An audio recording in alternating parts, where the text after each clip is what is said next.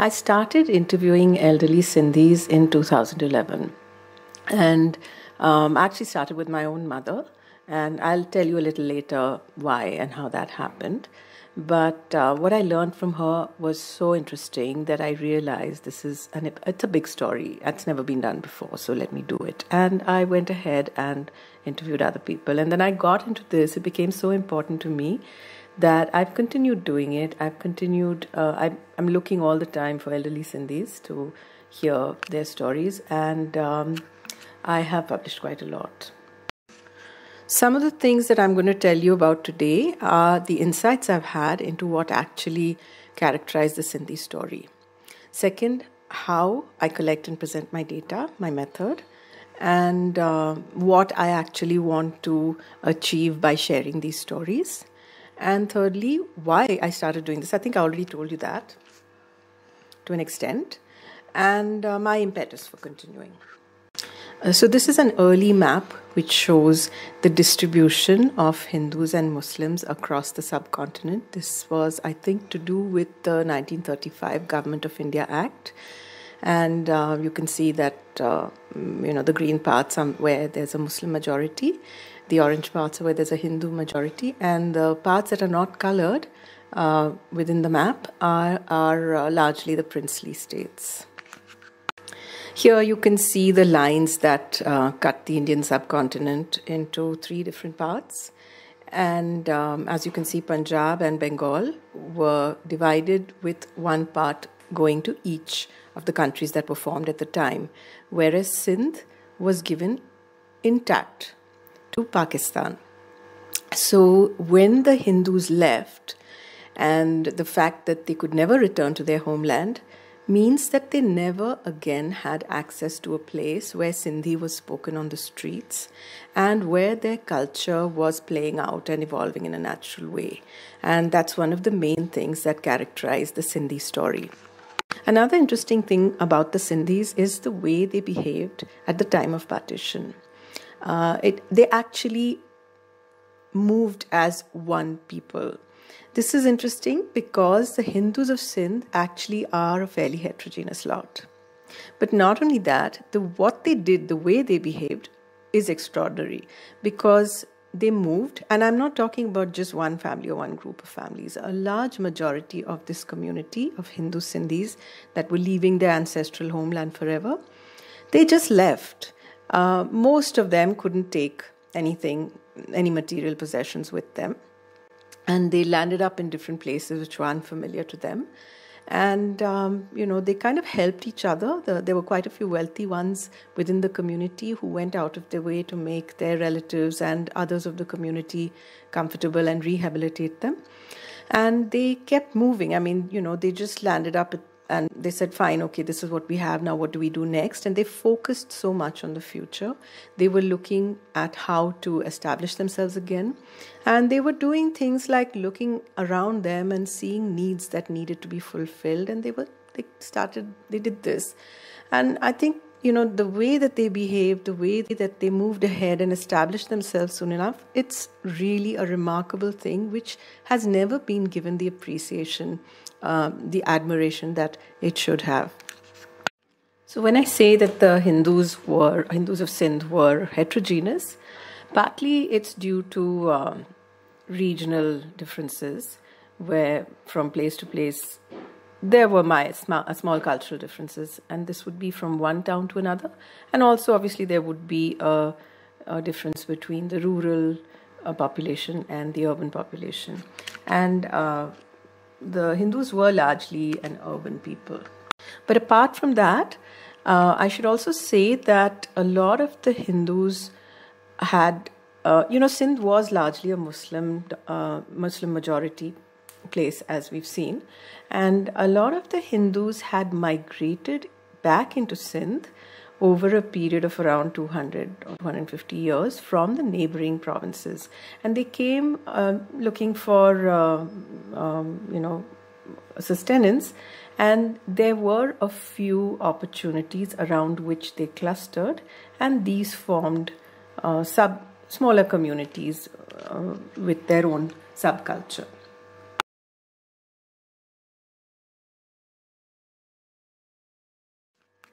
In fact, as you'll see from this map, the Hindus of Sindh were actually spread out all around the world. They had ports, um, they had shops in the ports in many different countries, and this was long before partition. Uh, it's quite a long story, so I'm not going to get into it now. But if you want, you can read about it in the work of Claude Markovits, who actually came up, stumbled across this and another Sindhi network, which um, you can look at if you want to. So when I started uh, interviewing people, sometimes I would hear them um, sharing similar experiences. Uh, for example, my mom told me that uh, when I close my eyes, I can still see those places. And I was very moved by that, but I also heard others say the same thing, which was interesting. The other thing she said was we used to, when we went to school in winter, we would uh, carry up, our pockets would be filled with dry fruit. And there were others also who said the same thing. So, you know, this vision of Sindhi children going to school in winter with their pockets full of dry fruit is obviously something that happened quite a lot. But then I, when I had people saying to me that my grandfather built the Sakhar barrage, or uh, my father was the chief engineer on the Sakhar barrage, and that I wasn't very sure whether um, uh, you know this was true because how many engineers can you have on the Sakhar barrage? And that's the way I did think until I realized that actually the Sakhar barrage is just is not just one little bridge over the river it, it was this enormous uh, engineering project, and there were canals across a very large area. And obviously, they did use a lot of engineers. And then I also learned this very interesting thing. Now, I did know that Sindhis are very, very, for them, education is extremely important because I saw that in my own family.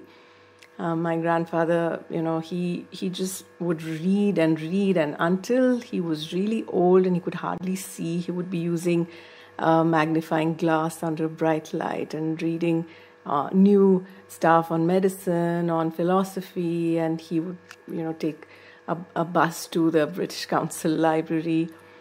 Uh, where um, Saturday first thing in the morning he'd be there when the library opened when they had their new lot of books out, and of course it wasn't just him, everybody was doing it. Education was extremely important in Sindh, and I knew that from many of the stories I'd learned. And what I, about the engineers, I did know that they had a um, very well known educator, S.C. Shahani, who was the principal of the DJ Sindh College. So there were a lot of uh, schools and colleges in Sindh. They started women's education in 1885. And I mean, there were schools for girls as early as that. And then uh, the college came up and uh, S.C. Shahani, when they started talking about the college came up, I think it was around 1887. And when they started talking about the um, barrage uh, in around 1910 or 19 between 1910 and 1920, he knew that this was a big opportunity. They need engineers, and he actually started an engineering college as well. So this was uh, one of the things that I learned. And then I was also surprised by the number of people who'd say, "Oh, you know what? My grandfather was the mayor of Karachi. And that I really was doubtful about because um, you have all the stuff online. I mean, there, there are records which tell you uh, who was the mayor and when. And what I did see online was that the uh, first uh, elected mayor was in 1933, and he was a Parsi gentleman, very well known and very much loved gentleman, who was the mayor. But there were some people who stuck their ground and they said, No, my grandfather was there. I mean, I, there's this one family who said this to me, and they're very sure about it. And this would have been in the 1920s. And eventually, after a lot of doubting, I realized that uh, the Karachi Municipal Corporation was much older than 1933. And yeah, they did have an elected head and um, might not have been actually called the mayor. But you know, the terminology may or may have come in later, so there was no reason for me to um, to doubt what they were saying. In the process of looking for records, I also learned that quite a few of the old records have been destroyed. And uh, I haven't checked every source, obviously, but I did find even some documents where there was a trail of a name and it was absolutely impossible to locate. So um, that is one of the problems that we face. Even though it wasn't that long ago, because of the history that we have, many documents were destroyed. So now I've told you a little about how I was dealing with my own preconceptions. And then now I want to tell you about some of the things that I heard which made me uncomfortable. For example, people would tell me, many people, almost everyone, would tell me things like when we came to India or when we came from Pakistan. And this I found a little disturbing because they're saying that they came to India as if they were coming from a foreign country. And they really weren't. They were, it was always, I mean, they always lived in India. They were Indians. It was very much an integral part of India. And uh, they couldn't, I mean, you know, even when you say you're coming from Pakistan, technically that's true because they left after Pakistan was formed. But the extent of association, I mean, there's from the way I look at it, they had to leave because Pakistan was formed. I've actually heard um, this very prominent businessman once on the History Channel saying that uh, my family has its roots in Pakistan. And I was so shocked at this kind of um, this the feeling that your family has its roots in Pakistan. How is that possible? Pakistan was formed in 1947. Your family's roots go back a long way before that. There was no such thing as Pakistan at that time. So I find this. Uh, I don't understand why why people cling to this. I have a problem with it. Even after I explain to them and they agree with me, I find that they're still saying it. The other thing that I used to hear elderly Sindhis saying a lot is, We ran away. We ran away from our homeland. Uh, we ran away to safety.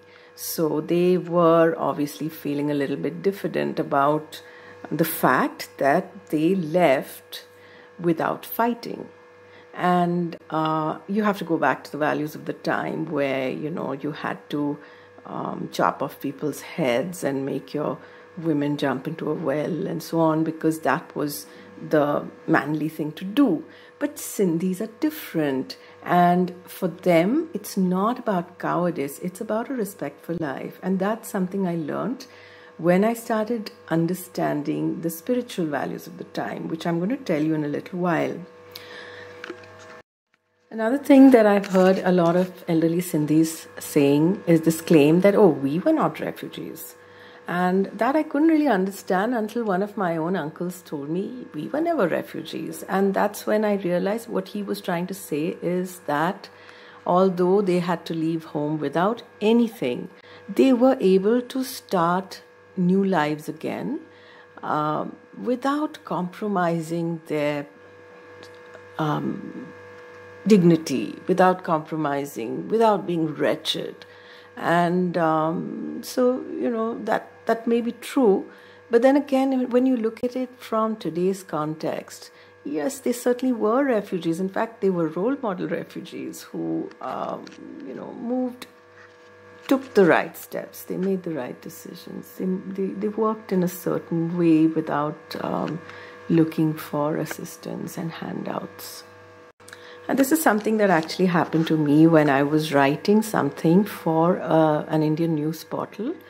Uh, uh, this was in, um, I think, two or three years ago when we were celebrating this big uh, milestone after independence. And partition was actually being talked about for the first time. Before that, before this, people were not even willing to acknowledge partition because, you know, partition only meant trains full of dead bodies and the most awful, ghastly things. But here, people, um, now people had by by this time, like three years ago, people had actually started thinking about partition and uh, the many different kinds of stories that it carried.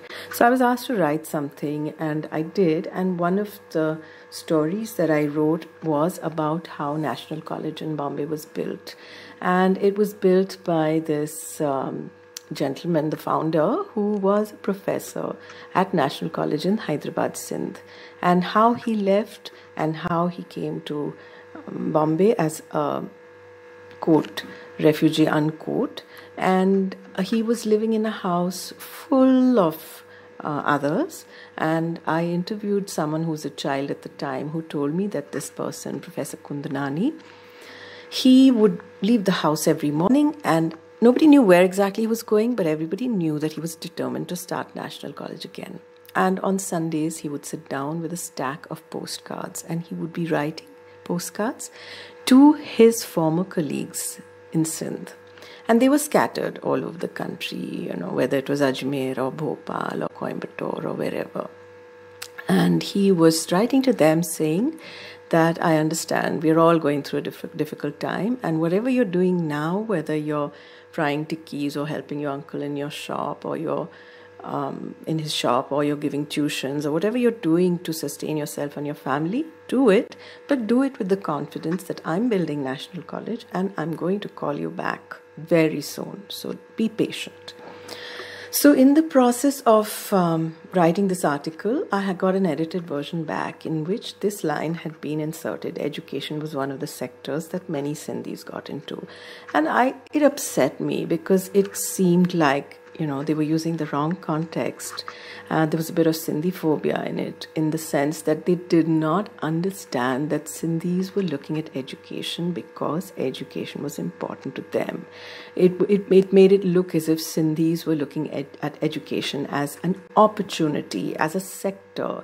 And the truth is that they were trying to fill the gap. There were so many young Sindhi people uh, children and you know young adults whose education had got interrupted, and of course, so many teachers and people who were education professionals whose careers had been disrupted. This is something someone um, I met for the first time uh, in around 2011 when I was writing my first book. And someone introduced us and said that she's writing a book about Sindhis. And she said to me, Oh, you know, and she really believed this that all the prime real estate all over the country belongs to the Sindhis. They got huge acres of land from the government. All of Sindh society now, the government gave it to them. And uh, it was this um, very strong conviction that Sindhis are the, this crafty people who somehow have cheated the rest of India.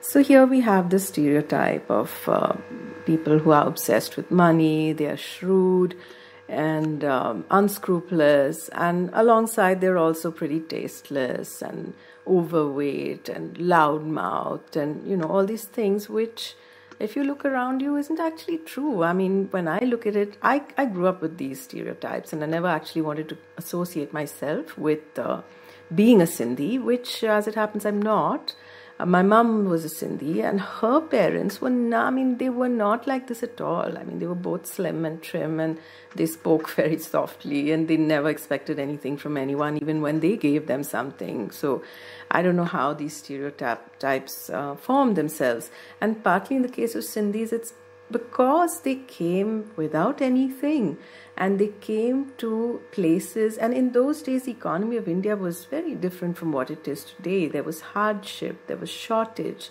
And when they came and they settled within the populations that were facing this situation and they began to do well there was some amount of resistance particularly from the business community who felt that by trading at lower margins they were being cheated. So that, and then after that, after these, um, you know, uh, these kind of ideas became established, Bollywood didn't help with all kinds of ghastly characters who spoke in a strange accent and who wore pointy white shoes and, you know, were always trying to cheat people.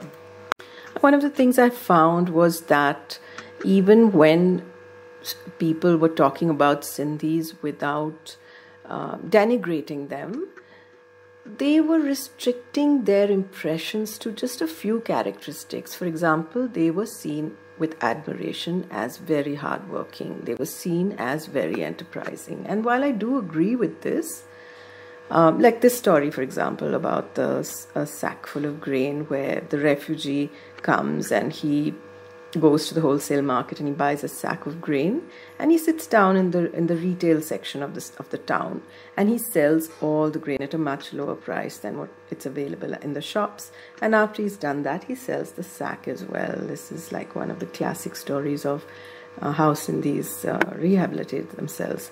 But this ingenuity and this hard work and this commitment is just a small part of the Sindhi identity.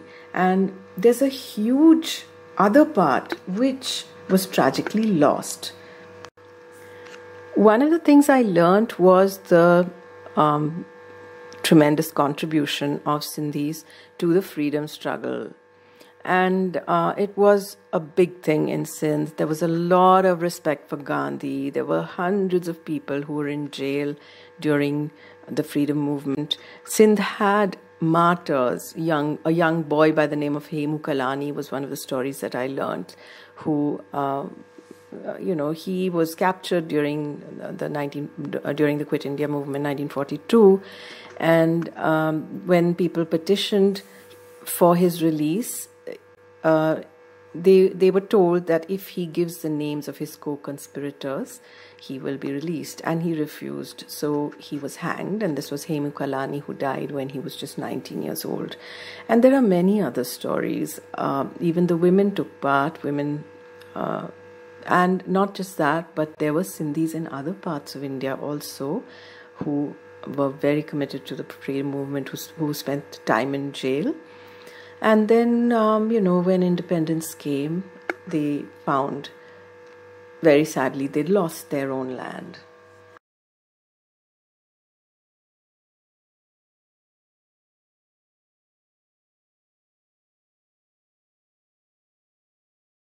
There was another aspect of Sindhi culture which I came across, which I found really surprising because I'd always seen Sindhis as being kind of right wing and um, because of their partition experience, many of them uh, were a bit wary about Muslims. And what I found with great surprise was that in Sindh, there was so much of participation in each other's customs, a kind of syncretic nature of worship, where there were um, saints and um, beliefs of other religions were taken very seriously and respected a lot.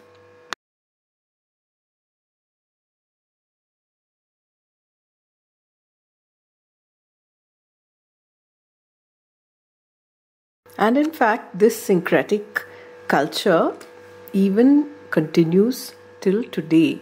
Many Sindhi temples around the world have, um, they revere religious figures and religious beliefs of other religions. And they participate in religious rituals in other countries where they are, as well as they introduce their own. And for example, I've seen this Ganpati procession, which is actually not even native to Sindh. The people who settled in other parts of, you know, maybe in Maharashtra, Bombay, Pune, and they got involved with Ganpati and they've taken it to Spain and Africa and various other places. The main reason, of course, why Sindhis have allowed their culture to dissipate is because they were so focused on integrating into their new communities and belonging to the places where they settled. So most of them speak the local language, and um, you know, people really can't tell that they've come from somewhere else and they have another they lost their homeland, they had another culture. And one of the funny offshoots of this is that though when they say Pakistan, it's very annoying, somehow in Bombay and Pune, we have this Karachi all over, and we don't even notice that, um, you know, it's Karachi is this city of another country that India is supposed to be at war with. When you see Karachi, Sweet Mart, you just know that it's about it's not about bombs, it's about um, samosas and pani puri and sweets. And of course, everybody knows this Karachi Bakery is a South Indian special. So, these two pictures I chose as symbols of the lost culture of the Hindu Sindhis. And the first is uh, an image which shows you the Sindhi alphabets. Uh, you can see they look quite attractive actually. There are 52 and um, looking at them you can see that actually these are very easy anybody could learn them in a, in a few days uh, but uh, unfortunately sindhi children have not been given this opportunity for many years for decades and as a result the uh, treasures of sindhi literature have been lost to the present generation uh, the other picture shows Shah Abdul Latif, who was a philosopher, poet of Sindh, and um, his work is tremendous. It's uh, very deep and uh, Um, it's it's it embodies a very vast and beautiful philosophy. Now, most Hindu Sindhis of today don't know who he is. They wouldn't recognize this picture, and they have no idea about what he said. I'm sure there are lots of elderly Sindhis even today who do know and can still quote from him because they learnt it, learnt what he wrote in school, and um, you know they would, as uh, as they grew up, they might even have quoted uh, from his work to each other. But the the uh, significance of his philosophy, which was so important to to Sindhis and still is to the Sindhis in Sindh, um, is lost to the Hindus. Uh, and it's that philosophy and what it embodies that I think gave the Hindus the strength to deal with what they did deal with during partition. It's the core from which they respect life, it's the core from which they did not attack uh, the people who were attacking them. And it's the core from which they looked after their women and um, you know sent them ahead to safety uh, or traveled with them when they were leaving and made sure that they were safe. But because of what happened during partition uh, this huge important body of thought it may still have an influence on them but they're not aware of where it's coming from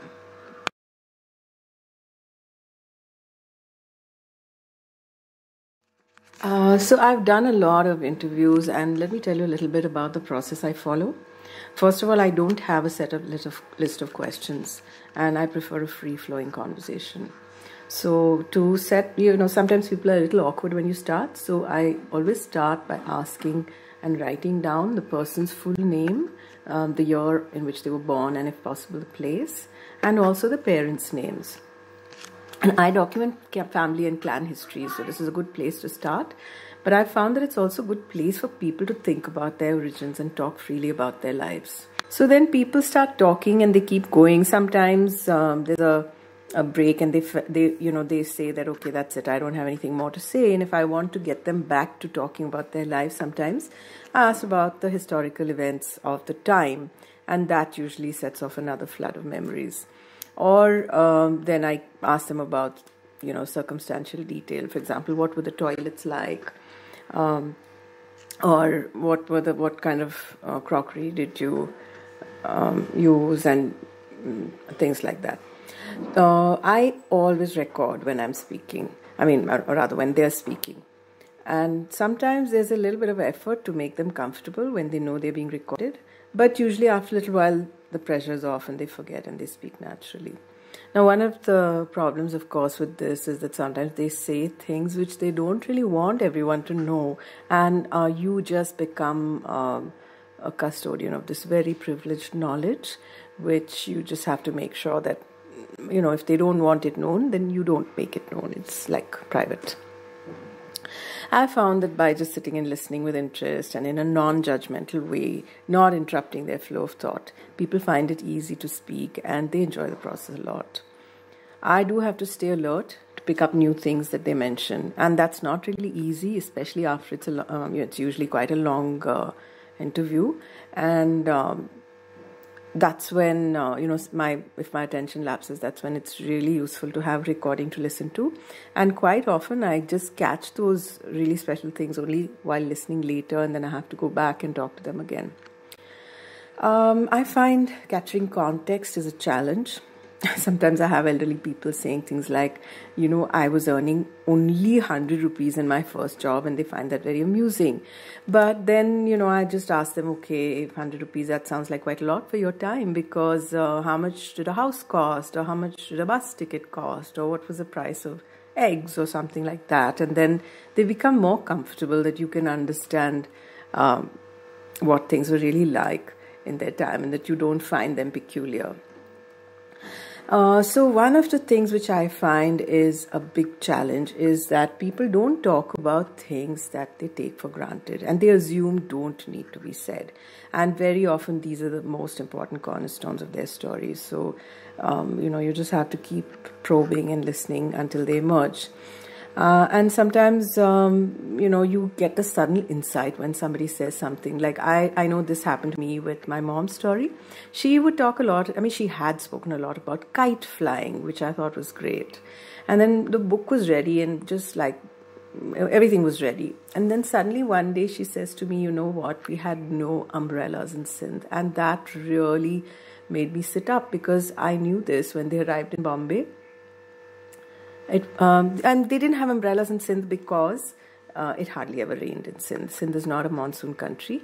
And in fact, if it wasn't for the river Indus and uh, all the irrigation canals, it would be a desert. Large parts of it would be a desert so, because they hardly had any rain.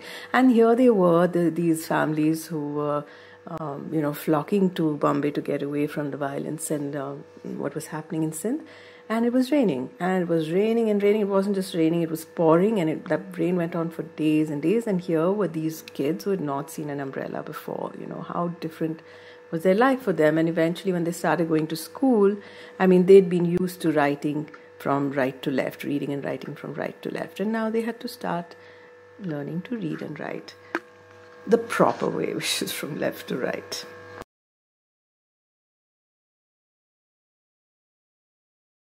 So, when I'm presenting the stories, my focus is to present a wide range of facts and personal anecdotes and theories which come straight from the people I'm talking to.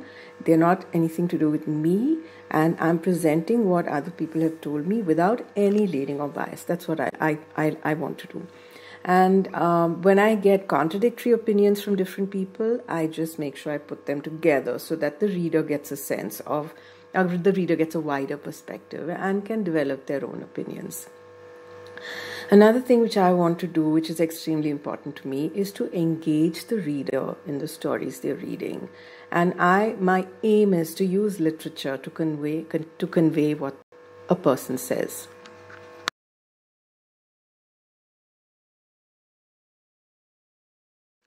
So, another thing I want to tell you about my work is that I self publish. And um, when I started doing so, there was a reason. Uh, the first book I did, I was in a big hurry to get it done, and there just wasn't any time to look for a publisher. I, I, my mom had mentioned the date on which her ship arrived in Bombay, and I decided now that's the date on which we're going to launch the book, and you know, call all her cousins and my uncles and everyone and give them copies. Um, but you know, back then, uh, which is 2012 I might have hesitated. I might have felt a little diffident about being somebody who self publishes. But then now, as everybody knows, the publishing industry is completely different. And as for me, I find that publishing give, uh, on my own, publishing my, my books myself, gives me a lot of independence in terms of timelines. Like I can get things done uh, when I want to. It. I also get a lot of um, freedom in terms of how I want my, books to look. So I, I can get the cover exactly the way I want without um, having to discuss it with anyone except my designer, who happens to be my daughter. And I also make the pages myself, and it means a lot to me to be able to choose the fonts and the layouts and the margins and uh, everything myself. Um, so for this book that I was doing, um, which was released last year, um, I found that when I was working on the appendices, it looked really boring. So then I livened it up by adding images and jokes and so on, as you can see. Uh, so I also wanted to show you my mom. This is um, Situ, my mother. And uh, this photo was taken in Jaipur in January 2011. Um, I, I, we started working on the book a few months later, and this we the reason we did this is because I mean I'm a writer and over the years I have kind of specialized in working with people to help them write their memoirs. So that's what I do. So in uh, mid 2011, I said to her, you know what, none of us in the family know anything about your childhood and Sindh, so why don't you tell me about it and let's uh, make something for our family. So she very sportingly agreed and she came out with all kinds of things which I found fascinating. And I knew that uh, I can't just stop at her story. I interviewed a few other people. I read a lot of books, and for those um, for those books, I'm really grateful to Nandita Bhavnani, who um, you know she's a writer in Sindh studies, and I consider her uh, I'm really grateful to her for all the help she gave me when I started out.